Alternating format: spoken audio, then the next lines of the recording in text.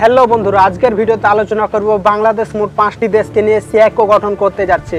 এই সিয়াকো গঠনে বাংলাদেশের কতটা লাভ হবে এবং মায়ানমারের কি হবে? বিস্তারিত আলোচনা করার পূর্বে যারা এখনও নতুন জ্ঞান ইউটিউব চ্যানেলকে সাবস্ক্রাইব করেননি, তারা অবশ্যই চ্যানেলটি সাবস্ক্রাইব করে ভিডিওতে একটা লাইক করে দেবেন। তো চলুন শুরু করি। দুই হাজার উনিশে মার্চ এপ্রিলের বাংলাদেশের পূর্ব নীতি যথেষ্ট গতি লাভ করেছে।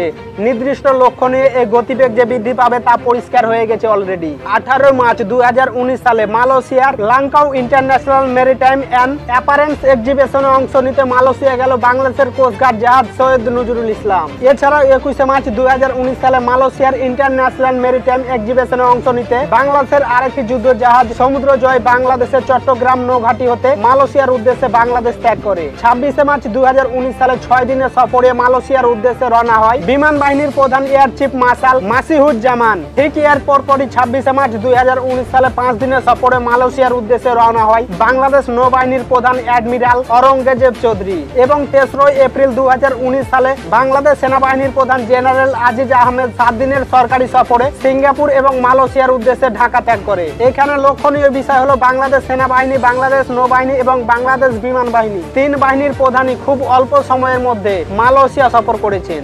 এখন প্রশ্ন হলো কেন? তো এই কেনর উত্তর জানার জন্য চলুন আমরা আরও কিছু জেনে নিই। আঠাশে মে দু হাজার উনিশ সালে মালয়েশিয়ার প্রধানমন্ত্রী ডক্টর মাহাতিবিন মোহাম্মদের সঙ্গে বৈঠক করেন বাংলাদেশের প্রধানমন্ত্রী মেজর জেনারেল অবসরপ্রাপ্ত তারিক আহমেদ সিদ্দিকী। তাদের সাথে ছিলেন বিমান বাহিনীর প্রধান এয়ার চিফ মার্শাল মাসিহুজ্জামান এবং নৌবাহিনীর প্রধান অ্যাডমিরাল অরঙ্গজেব চৌধুরী এবং সর্বশেষ প্রধানমন্ত্রী শেখ হাসিনা। বুনাইয়ের দারুল সালাম সুলতান হাজি, হাসান আল বলকিয়াডের আমন্ত্রণে তিন দিনের সরকারি সফরে একুশে এপ্রিল বুনাই যান। এখন প্রশ্ন হলো, কেন বাংলাদেশ? পূর্ব এশিয়ার এই সমস্ত মুসলিম দেশগুলোর সাথে ব্যাপক সম্পর্ক করতে চাইছে। তবে বাংলাদেশ সঠিক বুঝতে পেরেছে রোহিঙ্গা সমাধানে চীন কিংবা ভারত বাংলাদেশে কোনো ধরনের সহযোগিতা করবে না। বরং এই দুটি দেশই চাইছে রোহিঙ্গা সমস্যা যাতে জিয়ে থাকে। এর ফলে দুটি দেশই তাদের ফায়দা নিতে পারবে। তাই বাংলাদেশ পাঁচটি মুসলিম দেশকে নিয়ে গঠন করতে যাচ্ছে সিয়াকো। সাউথ এশিয়া থেকে প্রাথমিক অবস্থায় বাংলাদেশ এবং মালদ্বীপ এবং পূর্ব এশিয়া থেকে মালয়েশিয়া,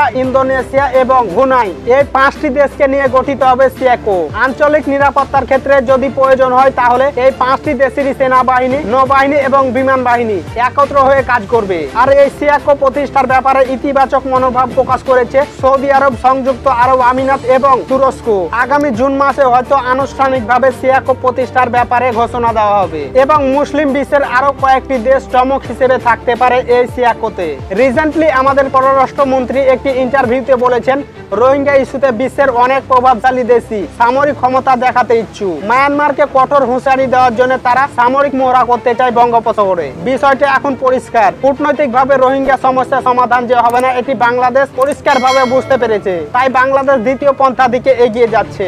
নিজের অবস্থানকে শক্তিশালী না করতে পারলে অন্যের কাছ থেকে সঠিক মূল্যায়ন পাওয়ার চিন্তাটা অবাস্তব। পূর্ব এশিয়ার দেশগুলোর সাথে বাংলাদেশের যথেষ্ট বার্গিন পাওয়ার থাকলে মায়ানমারের পক্ষে আরাকান মুসলমানদের গায়ে হাত তোলা কখনো সম্ভব হতো না। বাংলাদেশ তার সম্পর্ক উন্নয়ন করেছে মূলত বৌদ্ধ অধ্যাসিত চীন, জাপান, কোরিয়া, সিঙ্গাপুর, থাইল্যান্ডের সাথে। যারা মুসলিম উত্তাপ্ত সমস্যাকে তাদের বিলিয়ন ডলারের বিনিয়োগের অন্তরা হিসেবে দেখেছে।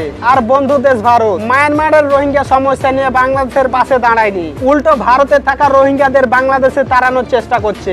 মায়ানমারের উদ্বাস্তুদের ব্যাপারে আসিয়ানের অবস্থানকে বাংলাদেশের পক্ষে আনার চেষ্টাও ব্যর্থ হয়েছে। বৌদ্ধ অধ্যাসিত দেশগুলোর অন আগ্রহের কারণে। দেরিতে হলেও বাংলাদেশ বুঝতে পেরেছে যে পূর্ব এশিয়ার মুসলিম জনগণের সাথে কৌশলগত সম্পর্ক উন্নয়ন ছাড়া আর কোনো বিকল্প নেই। আর এই সম্পর্কের গভীরতায় সেই দেশগুলোর সরকারগুলিকে বাংলাদেশের পক্ষে থাকতে অনুপ্রেরণা যোগাবে। পূর্বের মুসলিম দেশগুলোর সাথে রাষ্ট্রীয় পর্যায়ে কর্মকাণ্ড বৃদ্ধি, বিশেষ করে প্রতিরক্ষা ক্ষেত্রে সম্পর্ক উন্নয়ন এখন অত্যন্ত জরুরি। সেই লক্ষ্যে নিজের ইচ্ছা বা ইন্টেন্টকে জানান নিতে পূর্বের সকল রাষ্ট্রীয় কর্মকাণ্ডকে একটা ছাতার নিচে এনে ইন্দো প্যাসিফিক কমান্ড তৈরি করা এখন সময়ের দাবি হয়ে গেছে। তো বন্ধুরা, বাংলাদেশের নতুন সিয়াকো গঠনের পাঁচটি দেশ সম্পর্কে আপনার কি মতামত? মানে সিয়াকো গঠনে আপনার কি মতামত? অবশ্যই কমেন্ট বক্সে জানিয়ে দেবেন। ভিডিওতে একটা লাইক করে চ্যানেলটি সাবস্ক্রাইব করে নেবেন। ধন্যবাদ।